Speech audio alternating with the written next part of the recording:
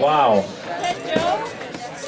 He's that's ex- an extremely nimble man right there. Joe Baltich from Red Rock Wilderness Store. Let's give him a hand.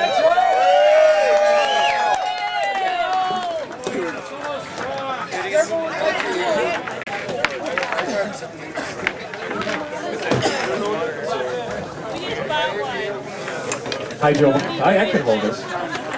Actually, it's perfectly balanced, isn't it? Yes, it is, Mike. All right, tell, Joe Baltich does a radio thing with me every Tuesday, and uh, he makes me laugh. Tell them about this fabulous canoe, Joe. This is a Souris River canoe. It's made out of Kevlar. It's 17 feet, 3 inches long. It has an 1,100 pound payload capacity. 43 pounds. It weighs 43 pounds.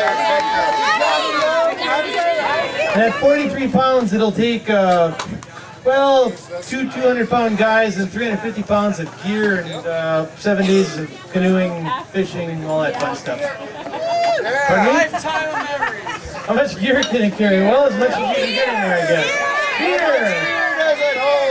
If you if you put the beer in in a loose format and then just pour it in, it holds a, uh, I think about 700 gallons.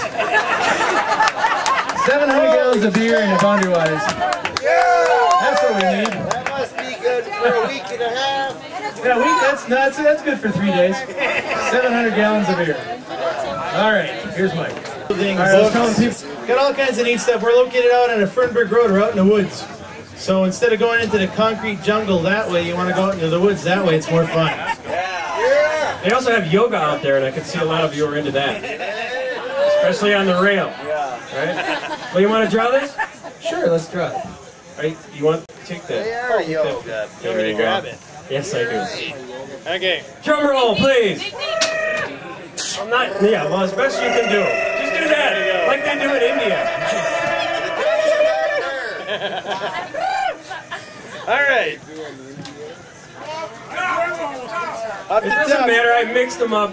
I'm mixing it. That's why I'm ner- so nervous about making it through this blues fest. I've been churning that thing all afternoon. I'm mixing it right now here, so nothing up my sleeve.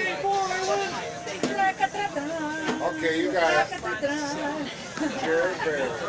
All right, the winners are, or no, The winners are. If, if, if two people win, you got to cut it in half. All right. The winner is. Are you ready?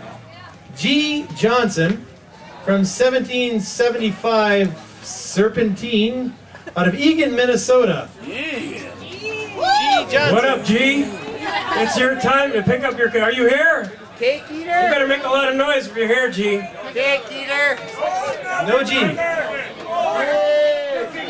going to be raffling off canoe rides in Fall Lake later then, since G isn't here. Well, congratulations, G Johnson, wherever you are. G. Johnson. I'm glad you won. Johnson. And uh, congratulations to the Boundary Waters Blues Fest. It's looking pretty doggone good. Thank you. Big round of applause for Joe Baltich.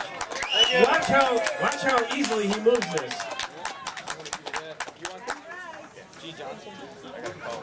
Geez, I hope I can't find G. Yeah, or you can put it down there. Maybe just set her down there. Set her down there.